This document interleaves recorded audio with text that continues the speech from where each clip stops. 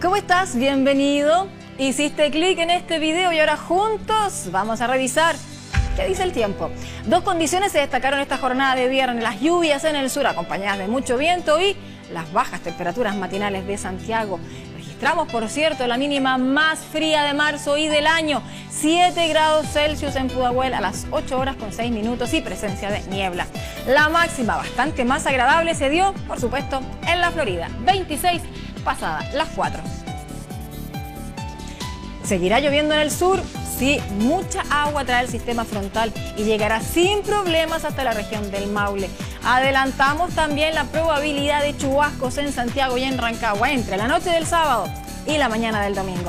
Para el norte, la clásica nubosidad costera que ya desaparece a mediodía, 21 grados la máxima de Tocopilla. La zona minera continuará despejada. Azul también se prevé el cielo desde El Salvador a Vallenar y solo en las playas esperamos un poquito de nubosidad al amanecer. Coquimbo todo el día, mayormente nublado, bastante fresco, no superando los 16 grados. Una que otra nube se paseará sobre los campos. Podríamos, atención, recibir algunas gotas entre Quintero y San Antonio. Será, por cierto, aquí un sábado muy otoñal. San Felipe se nublará durante el día, pero seguirá templado. Toda la región de O'Higgins cada vez más gris, pudiendo recibir chubascos hacia la noche.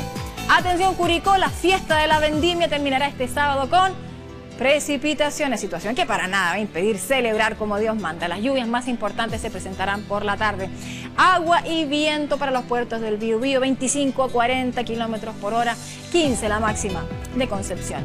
Entre las provincias de Mayeco y Palena, nuevas precipitaciones a ratos intensas, sin vientos importantes, pero sí temperaturas dignas de un frente sureño. 10 y 12 solamente las extremas de Puerto Montt. Inestable continuará la Patagonia chilena presentando nubes, claros de sol, temperaturas bajitas, algunos chubascos. En Magallanes no superaremos los 10 grados Celsius y el viento aquí a ratos llegará hasta los 33 nudos. La península antártica nubosa y lo mismo esperamos en Rapa Nui donde la máxima muy agradable bordeará los 25 grados. Para Juan Fernández, agua ocasional.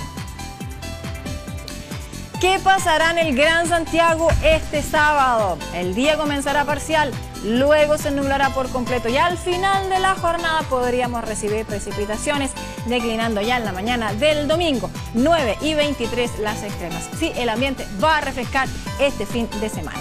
Marzo terminará con cielos cada vez más despejados el lunes, abril, mire, llegará con sol y calor. Aquí el tiempo. Pero tú quédate en t13.cl y ponte al día con las noticias más destacadas de la jornada. Gracias por acompañarnos. Nos vemos mañana.